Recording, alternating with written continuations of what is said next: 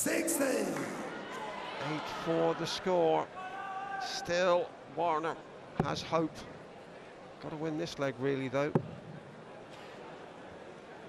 Against the throw, 24. and that's not the most auspicious start he's ever made. Because you know that Andy will get at least one in the 60, you would have thought. Well, what a time to get 60. you know, inconsistent. Well, see, these conditions, sweating like donkeys, and there's the leg by leg. 89 and 93.9 took it. She's to her feet now, Brenda! Warriner's, For 180s. they're all to Alan Warriner. Uh, yet he's uh, 8-4 down. He's just got to get more consistency back into his game. Well, those 100.2s hint that he might be able to. If you can pull it up to that. We saw Hamilton average 136 last night in one of them. But Jenks there, you see, pulled in that 100.2 as well. Jenks just doing enough to maintain this comfortable lead. But he's looking snatchy to me at the moment. 54. Thinking too much with the finish line, maybe, Div. Yeah, this little rally from Warriner just might have affected his concentration, you know, because if Warriner should win this leg against the throw and then hold the throw, 57. ooh, 8-6 would become a different proposition for Jenkins, who had looked in control. He was 5-6 nil up, remember. Well, you're bound to get slippy dippy on the barrel with this incredible temperature, 91 up there. 81. Alan, you require 140. Remember, that can't be aircon here because it causes turbulence around the 60. Nice steady dot here, nice solid treble needed there. But Jenks right here, go one away from the match with a really nice three dot and not now needed the 60. 60. He's nowhere near as accurate on the 60s as he was earlier, Jenks. 13. Treble 20. Well, that, that wasn't impressive from Warriner, and he's Andy, given Jenkins a chance on 104. If he steps in here, that could be the, the defining moment. Double 16 here for a 104 finish, and again, 72. just pulling it wide of the wire. Alan, you require Out of 60. gel. Warriner, double top.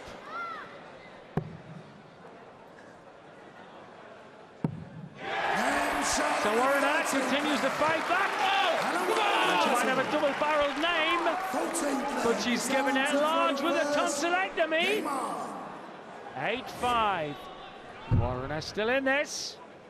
And if he wins this, it'll be 8-6, and that's a doubt that must be creeping into Jenkins' mind. He was 6-0 up and looking for all the world like he, he might whitewash. Then that 1-5-2 finish from Warriner changed the whole mood of the game. But what is also going to change the mood of the game is that shot, the slipperiness of the dart on the finger.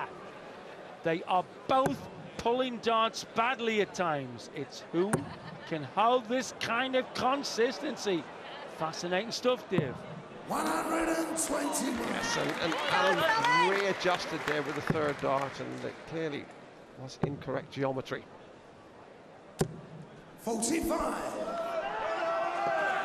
Although people in Cosham, their beer will be shaking in their hands. Because 6 0 down was Wazza. Andy is got nowhere near his consistency around the red bit that he had in the first eight legs. See, that accuracy and the adjustment 100. is not as reliable as it used to be. It's all in the hold on the dart. And who can hold, dominate the conditions here. 91 degrees, very humid, slippery barrel time. S B T. Just get the feeling that Jenkins is, is jerking his, 60. his body is not as smooth as it ought to be by comparison. Warriner always was a graceful thrower. Excellent point, Dave Lanning. Excellent point. Warriner is controlled to the 60. For the Brenner now! Come on! Come What kind of ladylike language is that? Looking the more desperate by far is Jenks. Alan, Well, 91. 91 probably would go the ball the old way of treble 17. Might still pay dividends. I always think we should go that way anyway. And so does he. His good lady is shaking, rattling and rolling in the aisle. The Warriner fight back is on. Yes, and that's three legs on the trot. And if he breaks Jenkins here, well, that would represent just about the best comeback of the week thus far. Certainly on the cards, yeah. Because he is marshalling the conditions, the high humidity, the massive temperature, the slippery barrel. He is handling the situation better than Jenkins. She knows it. Gets it really together that time. 100. Should be to the double first. Under these conditions, Dave, tons will do to get you to the double on your leg.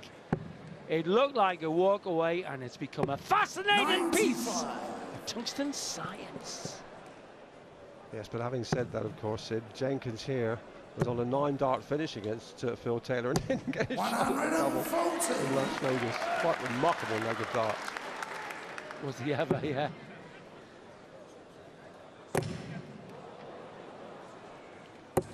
Thirty-five. Andy, you require one hundred. Well, if Manny Jenks can nail this, he would need only one leg for the match. But Warriner is right on his heels. See, he's making the most biggest blobs by far. Warriner is not missing by that much. I'm not going to use the word panic. Andy is looking very unsettled. Sonia! And Jenkins is make it, making it difficult for himself, Sid, isn't he? Absolutely.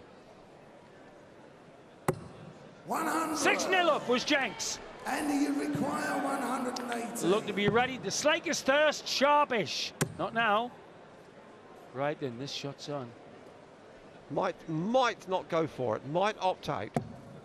Eighty-six. Percentage shot. Percentage shot, Warriner. Though if Warriner hits two trebles now, two red bits, and that would be a bit of pressure on Andy. Sixty-five. Only 65. Andy, you So the fact that is an awkward little ask. Double 16. Still a chance. Three quarters of the bed. Needs to dip below the marker. Oh, making it difficult. Make has to get through the bars. Sixteen. Here we go. Here's Warriner. And pile on another 50 points there. As it is, it could be a now. Would have been a possibility of a one leg deficit. 17's handy for tops. And with Jenkins showing the pressure, Dave, in the last five legs, I wouldn't put the mortgage on him getting this double. He's had three darts so far. And now the winner there, and that will settle it. That will settle his nerves, and Warriner knows now that he has got to produce something extraordinary.